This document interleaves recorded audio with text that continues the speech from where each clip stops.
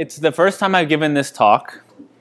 Um, it's about a theory of functional programming that I've been developing. As you know, I teach functional programming and I have a blog about functional programming. So people ask me all the time, um, what is functional programming and why should I use functional programming? And I've not had a good answer to this question. And so I'm like constantly trying to come up with like what is it what does it even mean? So um, these are the two questions that just keep popping up. What it uh, what is it and why? And of course I've read a million definitions and I put approximately 10 in here. so this is John Hughes, you know, no small fry in the in the functional programming world. Fun he doesn't actually define it, but he kind of talks about it in a de defining kind of way. It's functional programming is so called because its fundamental operation is the application of functions to arguments. And then he talks about how you can write a program that's just one function made out of other functions. And it's just, you know, whatever arguments you pass in on the command line and it'll just output the result. Um, here's another one I found online. Um, if you Google what is functional programming, you get a million of these. Process of building software by composing pure functions, avoiding shared state, mutable data, and side effects. Um, declarative rather than imperative, that happens. People talk about that a lot. Um, and application state flows through pure functions. So this, this is just not what I do when I do functional programming. Like I do some of this, but there's a whole, I don't just avoid shared state. Like there is shared state, there is mutable data, there are side effects.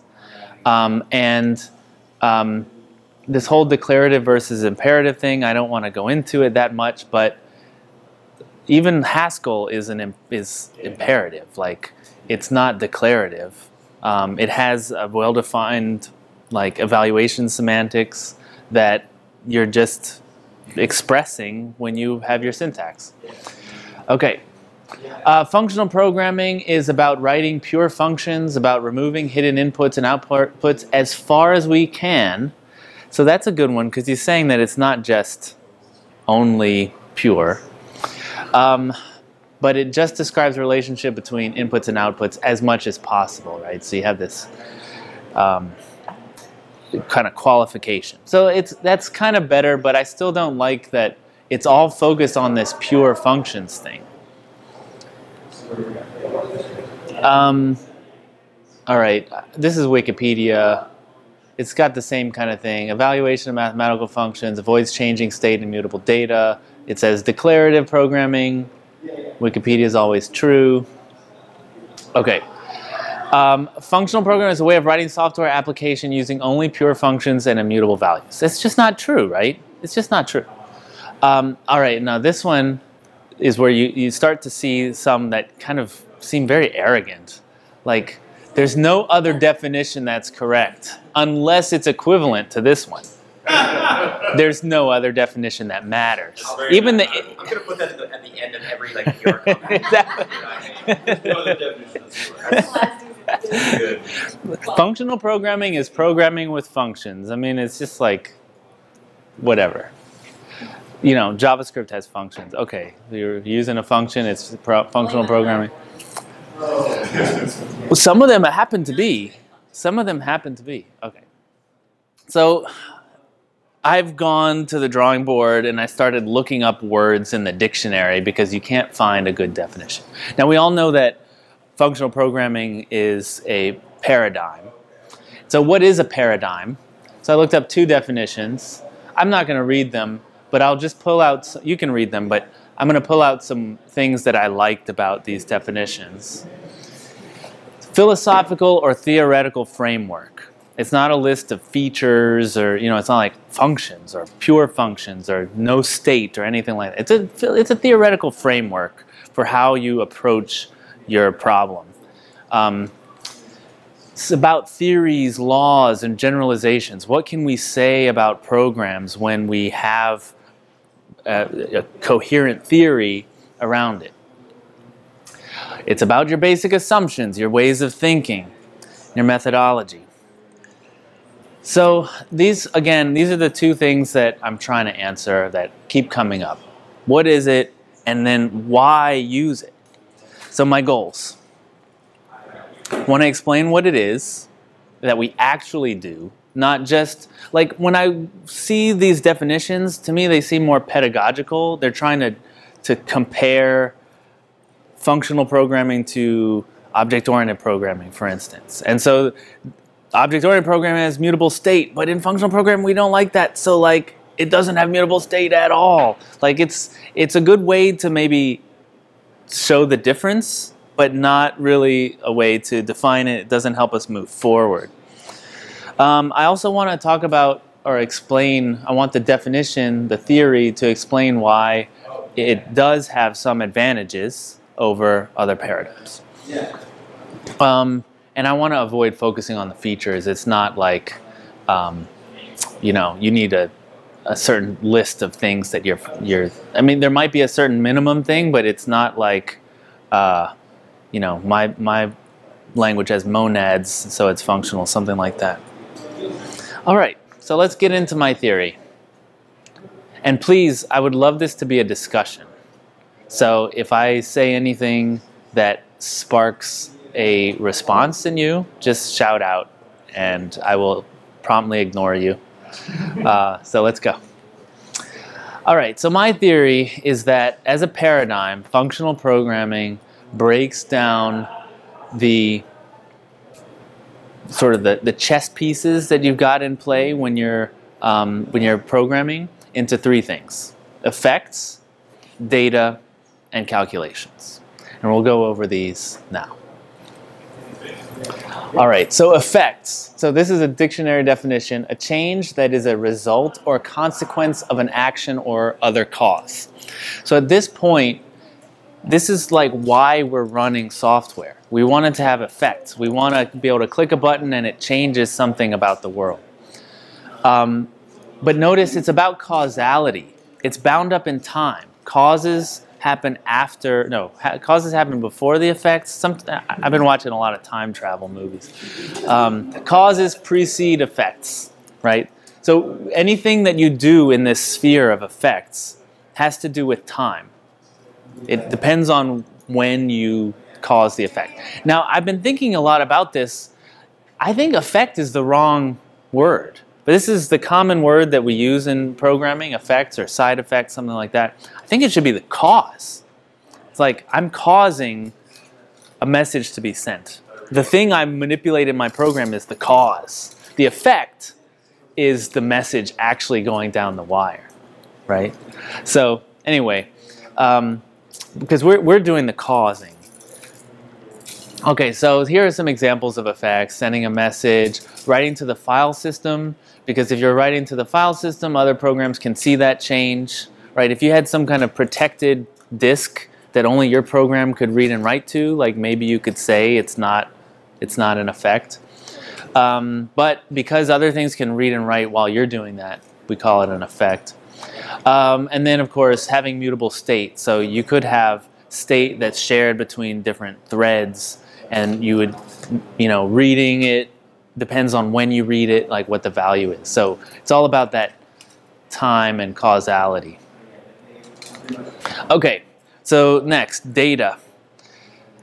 Factual information used as a basis for reasoning, discussion, or calculation. It's a really nice definition. Um, one thing about data is it's inert, like it doesn't do anything on its own, um, but it's serializable, you hope, um, but in general it is. Uh, and it requires interpretation. It doesn't have any, it can't run on its own. Uh, there's some numbers there, uh, some examples there. That's pretty easy. Okay, now calculations. I'm calling them calculations and not functions because functions are too much feature oriented um, and it, it excludes languages like Java that don't have functions. They have, you know, they have methods, But if you wanted to, you know, if we said you have to have functions, then we have to say you cannot do functional programming in Java, and that's not true. Okay, so the thing about calculations is they are eternal, meaning whenever you run them, you get the same thing. Um, they're, they're outside of time. Their definition exists outside of time and space. Um, and you could think of them as they're like you have input data and output data. Um, and they're referentially transparent in general, which means you can replace the answer with the expression that calculates the, um, So the thing. middle bullet point is like a functional relationship. Yeah, it's it is a uh, data to data transformation. That's what I'm trying to say. What do you? That stands out to me as the most functional thing so far. Um, so, are you disagreeing that we use data in functional programming? No. Okay, But like, okay, because other paradigms use data. Is that I don't? Okay, sorry. Um, I would like to address what you're saying. I just don't. yeah, He's it's- pointing out the arrow. The arrow. yeah, yeah. Oh, the arrow. That's all getting at. Right. Okay. Okay. Maybe yeah. instead of calculations, transformations. Yeah, maybe. Um, right, and then also one thing I wanted to like a lot of calculations aren't actually functions in functional languages. Um, so, for instance, um, an if statement, right, or an if expression, it's not a function. It could be like it, but it's not. It's usually not implemented that way. But it is a calculation. All right, so I want to, I want to like, uh, I, I hope that at this point everything seems like so obvious. Like, why am I even talking about it? But I want to contrast that with object-oriented programming and its paradigm and how it's like a totally different way of seeing the world. In object-oriented programming, you have objects, and they have an inside and out and outside. The inside is the implementation details that you're trying to encapsulate, and then the outside is the interface. And these are the things that you talk about in object-oriented programming. You don't talk about data and transformations and effects. You just talk about passing messages between objects. And that's it. That's all that is there in the paradigm. So I feel like this is novel. Like I don't hear people talking about talking about stuff this way. Now they might talk about it indirectly, like they might say, "Oh, we try to avoid effects." So then effects obviously is an important feature that because you're trying to avoid it, you're even naming it. Whereas there's no you don't even name it in object-oriented programming. Okay. So here's just a couple of example ways that functional programming is implemented in, in a couple languages. So in Haskell, you have data, and so there's a bunch of data types that are built in, and you can define your own types. Calculations are functions, and then there's a special type called IO that's for effects. Okay, so you can see that um, it's pretty pretty clearly delineated in Haskell, and the type system helps you keep everything straight. Now in Clojure, it has its built-in types, and you can have the collections and everything, build it up. And we use functions for both calculations and effects. Yeah.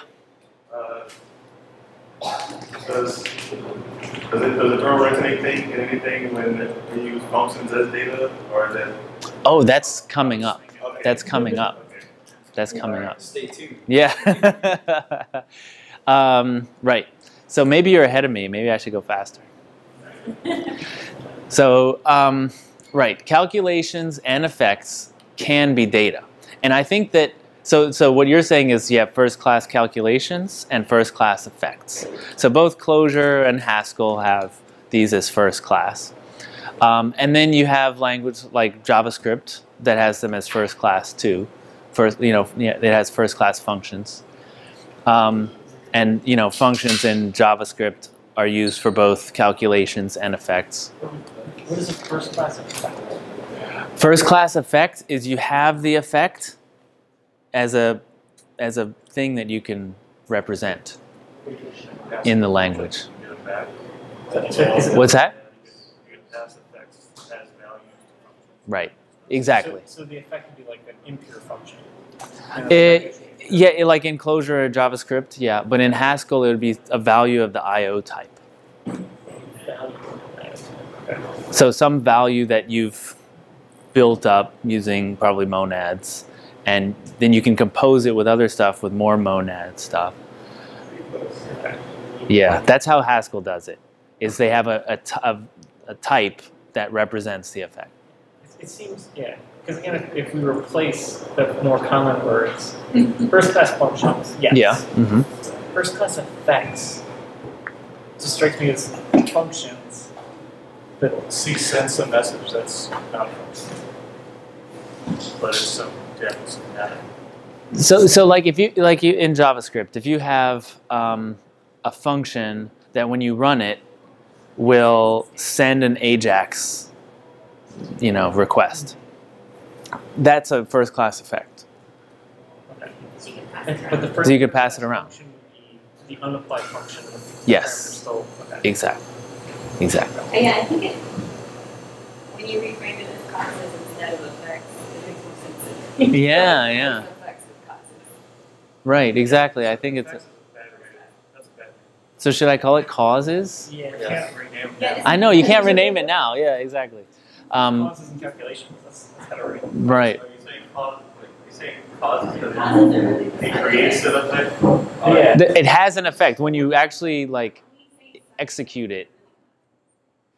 I'm. We're sitting around. Because you have a calculation, and then you have the cause. I think- sort of like- Yeah. And you, It's storing the effect to sound like storing a Yeah, value. that's- right, right, It's not like storing physics or something. right, right, right, right, right, right.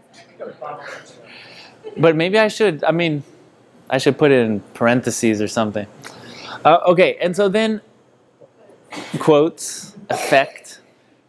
Um, so then there's the the other side is that because we we're using universal Turing languages, um, we can actually represent any calculation as data, right? So you can as data. So you could encode some kind of language as a data structure and have an interpreter for that. And so then that data might represent some kind of calculation. And the same for effects, right? You can just encode them however you want. Um, and so then we have this thing where like everything's basically interchangeable. Like you can data is functions, or data is effects, data is calculations, calculations is data. And I would I would argue that if you don't have this, you're not you can't do functional programming.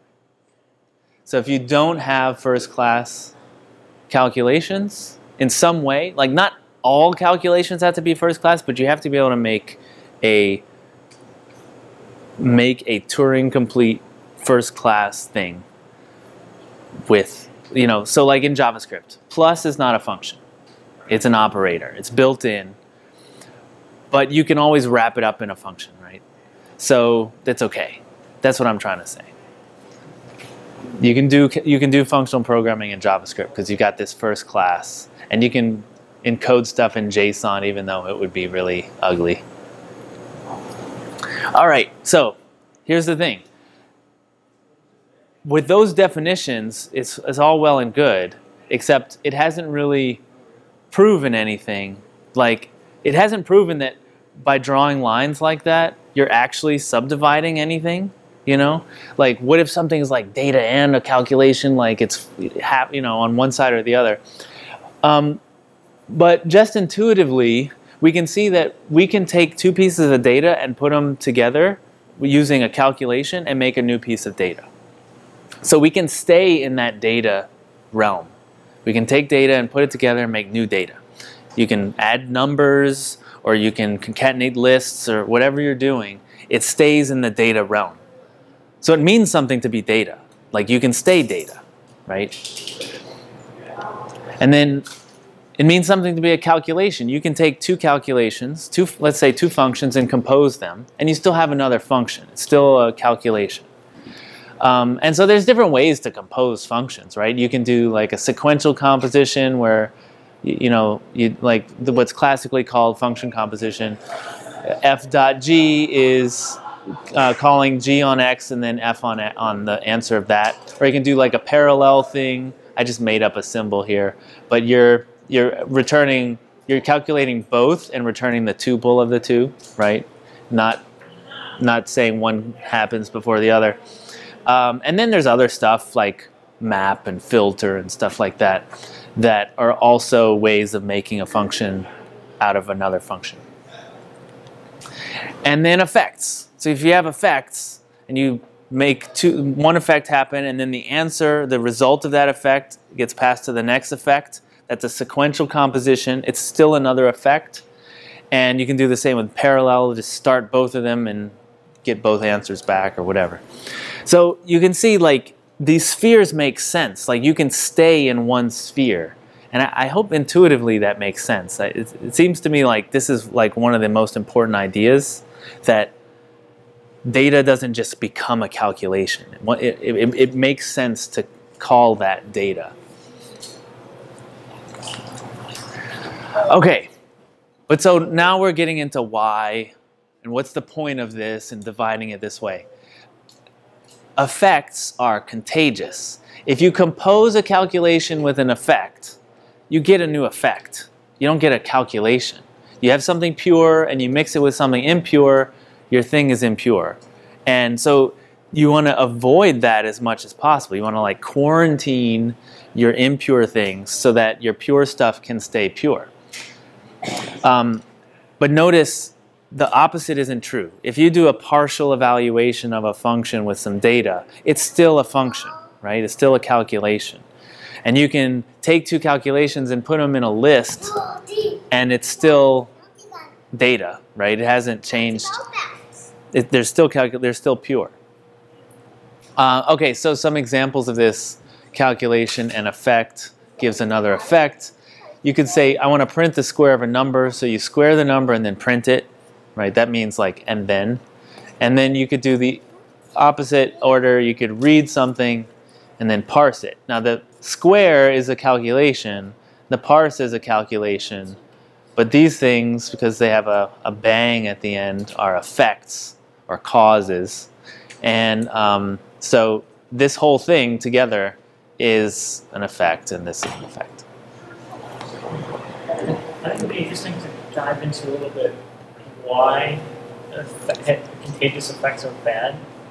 I Mhm. think if you come from functional programming, You it's know, yeah. obvious. Right.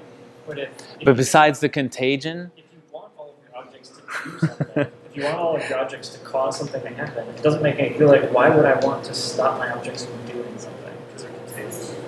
This is a little bit- Right. Yeah. right? It's a, no, it's a good point. It's a good point. You define the contagion, but not the sickness. Yes. Right. What are the symptoms of this Yeah, disease? I, I, that's a little bit out of what it understands. No, it's true. And, and and do you have any insights into what I should say? No. You might just have to um, give examples of what things are, like a calculation and a side effect. Like a calculation is uh, give me two numbers and return the sum of them. Mm-hmm. And an effect is, like you said earlier, like I'm going to go hit an API to get data from it. Right. Like an asynchronous function or something like that. Right. And that you can't call that twice without changing the world Or you twice. can put it in another function without it affecting that function or Right. calculation. Right. Would you say that affects ruin your timeline that you were going about beforehand? Sure. Maybe instead of calling them They- effects, triggers. That because it's like it's like watching a bad uh, or a good, I'm probably a good uh, time travel movie, where you're like, this is this is messed up. Like the timeline is, I don't understand it anymore. If we could just keep it pure and functional. You need to make that functional programming time travel movie. yeah, exactly. You'd have to explain first class also. If you're Yeah. just a new programmer. Yeah, that's true.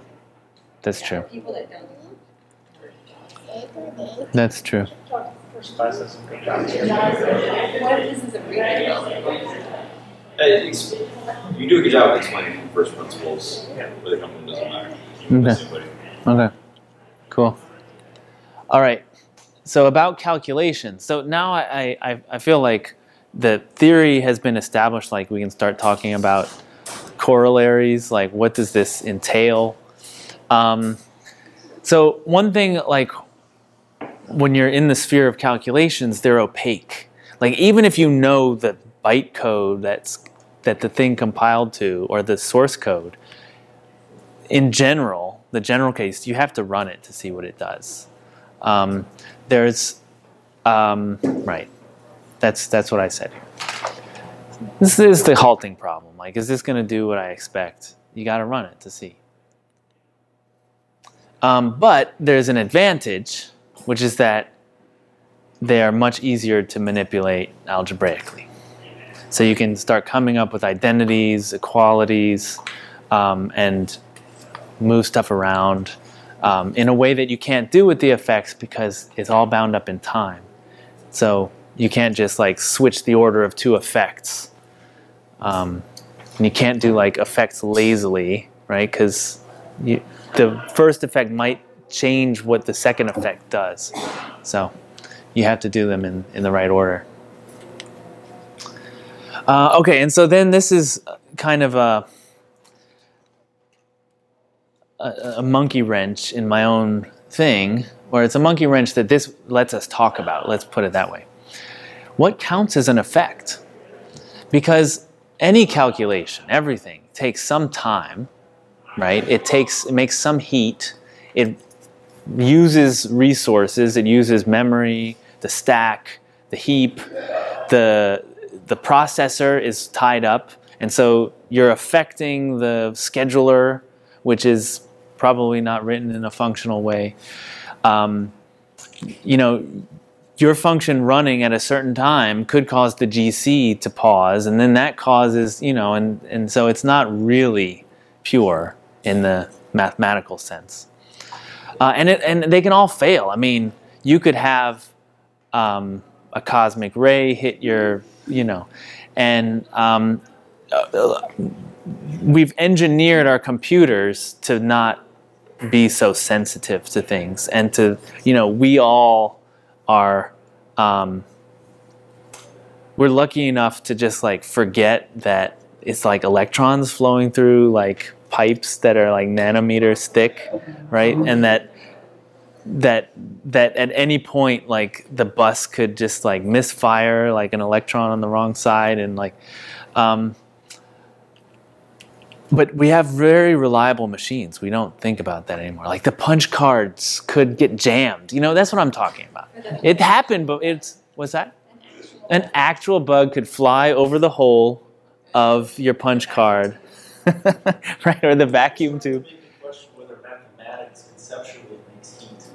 I'm starting to think that, like we just like when you think about math, like it's actually generating heat. or the chalk dust from mathematicians writing on the board. Basically, what's an acceptable uptime for something to no longer be? Well, yeah, I mean, I think we're talking about like the the reliability. How many nines are we talking about? Um, what what what happens if something fails, right? Um, where to draw the line. And so I feel like one of the one of the design decisions that let's say Clojure has made by not having a distinct effect type. They've you know we talk about effects, we know what they are, but we trust ourselves to separate out the pure from the impure, as opposed to Haskell, which draws a very strict line about what counts as I/O and what is not I/O. Um, in Clojure, you can customize it, and there's like unsafe perform I/O, so you can pretend like it's not I/O, and so it's it's possible, yeah.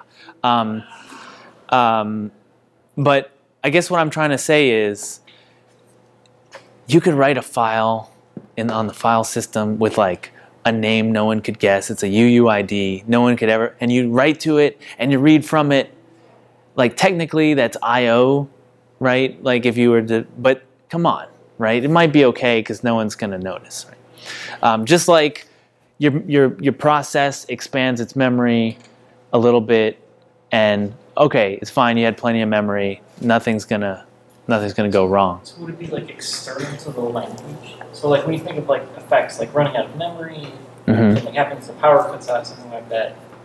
So when you express it in data, right? So constant effect is things that you don't touch your data. Um, You can draw the line wherever you want, is what I'm saying.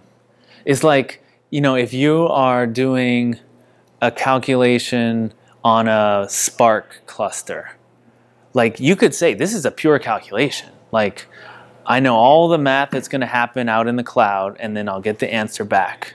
Now, the thing is, it could fail, like the cluster could die, get segmented, and um, it's much more likely than if you did it in your memory, right? If you did it on your one CPU. Um, but you could also just, you know, say, ah, I'm going to accept that as a as a as a pure function. So because you don't have any control, so when you write your calculation, you're not controlling its runtime such that the runtime underneath it would have the effect, but it's not specified as part of your calculation. So your calculation has some sort of implicit effects, is what that we don't care about. That we That don't care about. care about. Right. Well, That that you can you can ignore just like you can ignore friction in physical physics problems, right? It's ah, we just won't talk about that. I'm saying that you could ignore effects that are actually happening, messages passing around the network. You know, you can move your database from the same server to another server, and now there's like another point of failure that could happen. But you know, we're just saying, ah, it's all the same, right? It's, it's still a pure function in that system. Um, but yeah, where to draw the line? I think that's the that's the the choice that we have as functional programmers. It's it's a lot. This line is a lot fuzzier than say functions and data, right? Yeah. One thing I would uh, be interested in, uh, maybe seeing like a distinction made uh, would be effects versus side effects. so when you take when you take a drug, because that's where the term side effect comes from. I mean, when you take a drug, there's effects like the ones you want, and then there's side effects, the ones you don't want, right? And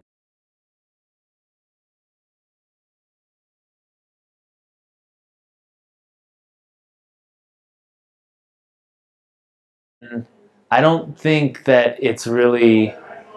I mean, maybe we could call the heat that that happens a side effect and not an effect, because effect we're now defining effect in a very specific way for this theory.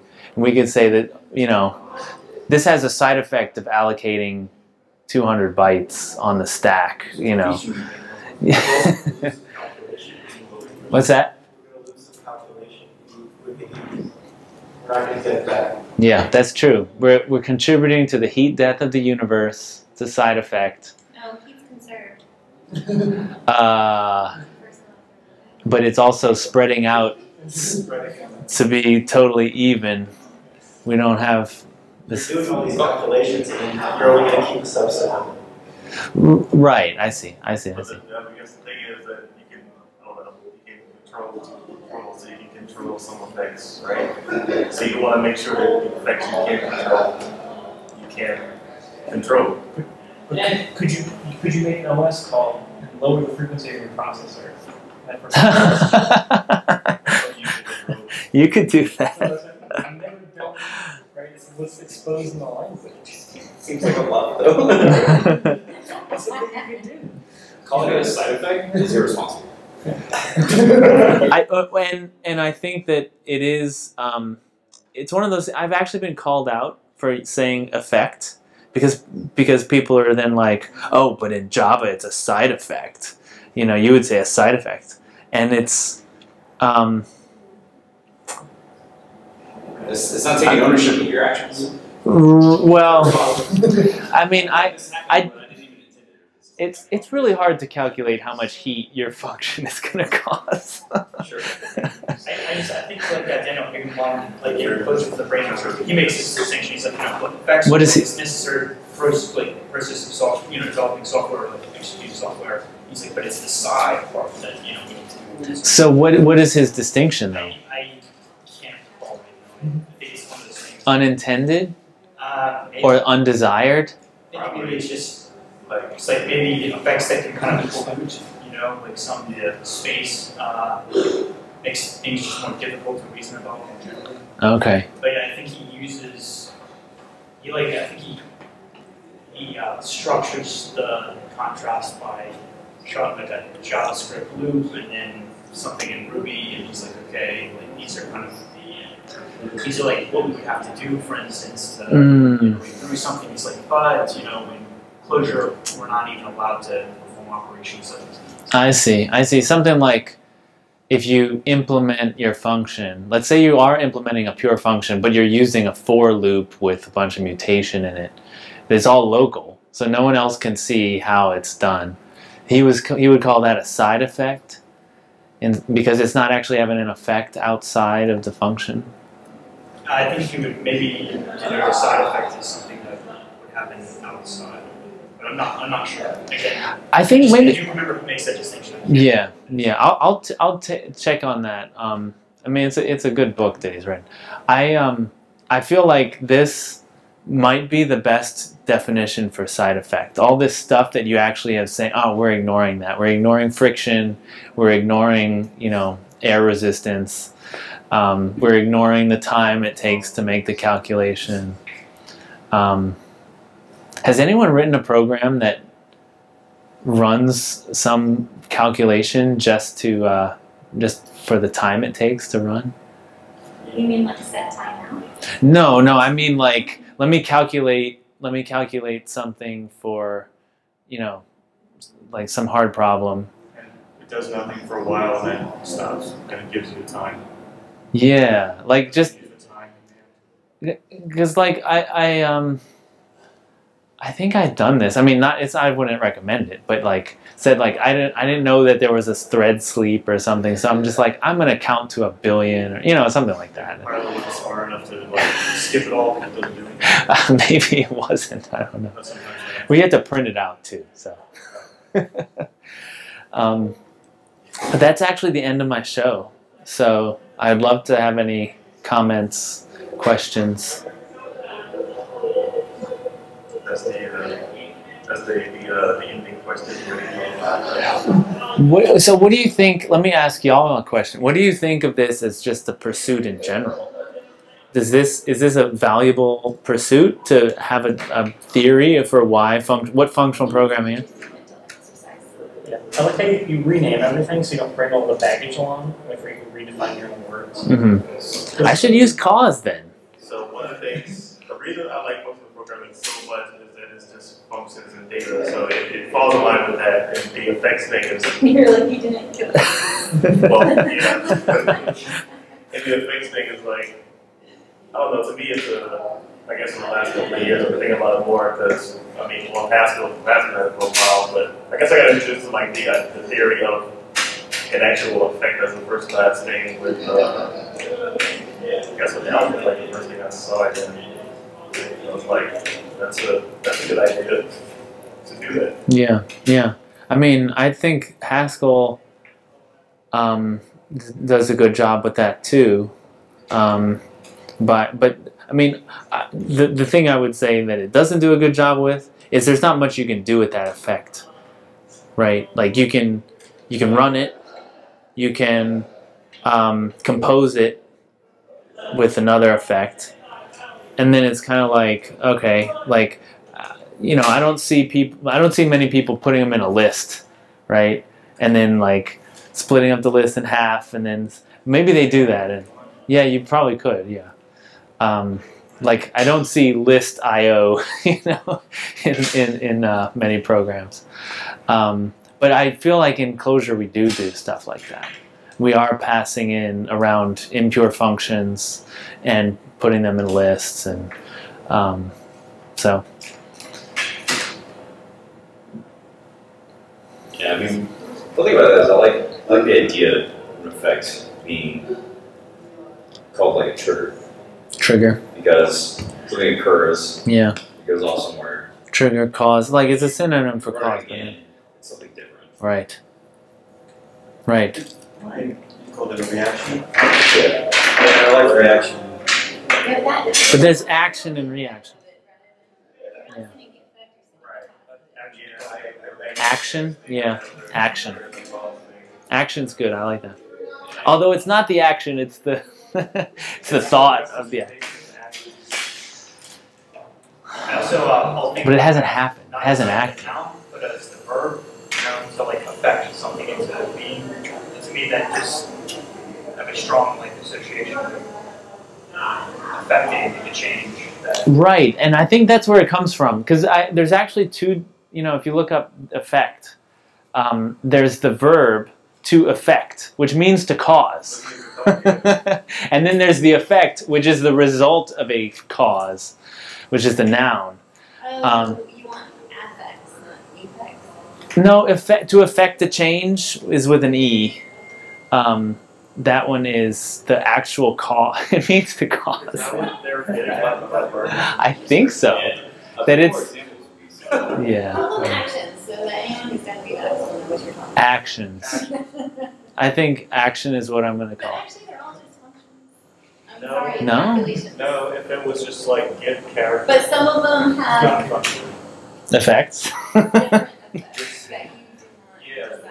I mean, technically, a, a, an effect is a calculation, it's just not, a, a, a calculation is an effect. no, they're different. They're. I mean, Earlier on. Sending a message over a wire versus calculating the square root of a number. Like it's different. Oh, you're trying to separate. I'm, tr- we want to separate. I mean, that's the whole point.